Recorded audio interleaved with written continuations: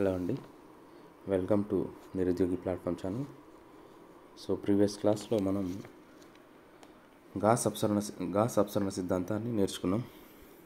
Present ప్రస్తుతం ఇది కూడా స్టోక్ సిద్ధాంతాన్ని నేర్చుకున్నాం.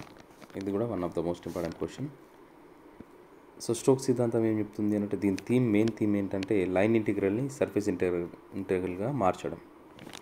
సో మనకి ఇక్కడ లైన్ ఇంటిగ్రల్ని సర్ఫేస్ ఇంటిగ్రల్గా ఏ రకంగా మారుస్తాం అనేది ఈ స్టోక్ సిద్ధాంతం చెప్తుంది. సో ఒక మూసిన వక్రం సి వెంబడి ఒక మూసిన వక్రం సి వెంబడి తీసుకుంటే కనుక సదిశ క్షేత్రం యొక్క రేఖీయ సమాకలని విలువ ఆ మూసిన వక్రంచే ఆవరించబడిన ఉపరితలం ఎస్ యొక్క కర్ల్ యొక్క ఉపరితల ఉపరితల సమాకలన విలువకు సమానం. సో దీనికి ఈక్వేషన్ పార్ట్ని తీసుకుంటే కనుక ఈక్వేషన్ పార్ట్లో చూపిస్తే కనుక అది ఏం చెప్తుంది?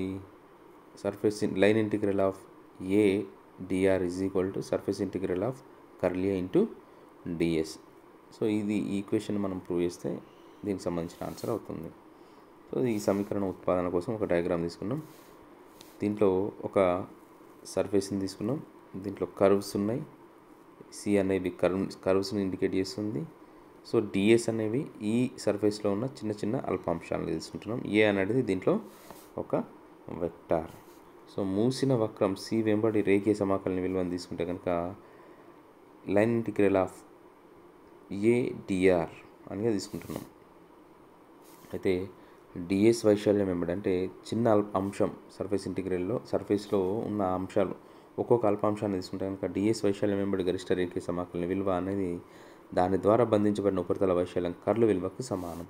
So curl A into d s దీని వాల్యూ ఎంత? Curl A into d s ఇవన్నీ అల్పాంశాలకు సంబంధించిన కర్ల్. అదే మొత్తం వైశాల్యం పరంగా తీసుకుంటే కనుక surface integral of curl A into d s ఇది ఈ వాల్యూ అవుతుంది మొత్తం సర్ఫేస్ పరంగా తీసుకుంటే కనుక. సో ఇప్పుడు నిర్వచనం ప్రకారం నిర్వచనం ప్రకారం ఏం చెప్తున్నాం మనం? ఈ curve surface integral of curl A into d s అనేది గరిష్ట రేఖీయ సమాకలని విలువకి సమానం అంటున్నాం. Therefore surface line integral of A d r is equal to surface integral of curl A into d s ఇది స్టోక్స్ సిద్ధాంతం. సో ఇది కూడా one of the most important question Stokes సిద్ధాంతం గాస్ అప్సరణ సిద్ధాంతం స్టోక్స్ సిద్ధాంతం. నెక్స్ట్ గ్రీన్ స్థిరం ఉంటుంది. నెక్స్ట్ క్లాస్లో చూద్దాం అది.